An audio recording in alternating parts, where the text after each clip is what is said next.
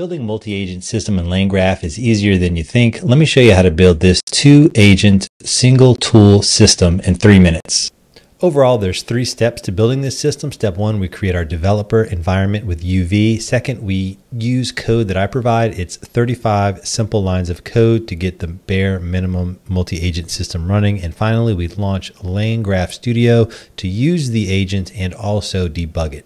To start off, we'll need to run UV init multi-agent or whatever you want to name the project. Then we'll cd into that directory, and then we need to do UV add all the dependencies. Here's a complete list.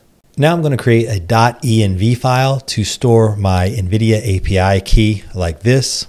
If you need an NVIDIA API key, go to build.nvidia.com, create a free account, click your avatar up here, then click API keys. Now click the big green button, follow the prompts in the wizard that you see here. Paste the key from build.nvidia.com in your .env file and save it. Run this curl command to download the most simple multi-agent LangGraph Python file.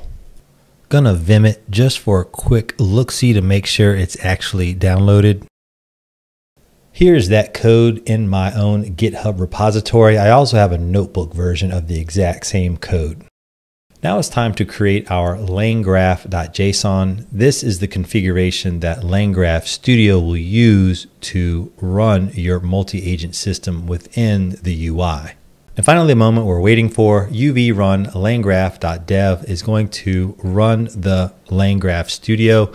You click the second link at the top of the output, and here we have it. Here is our multi-agent LangGraph application.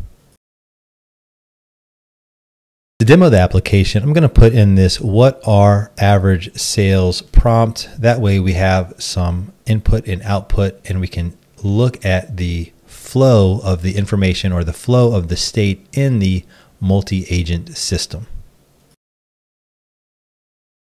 Now that we have a trace, I'm going to click back to the graph view and over here I'm going to click trace and we'll get the waterfall view of the entire flow of the multi-agent system. Now that you're here, you can kind of dig into the input and output of each agent, the tool, and how everything worked. I hope you find this useful.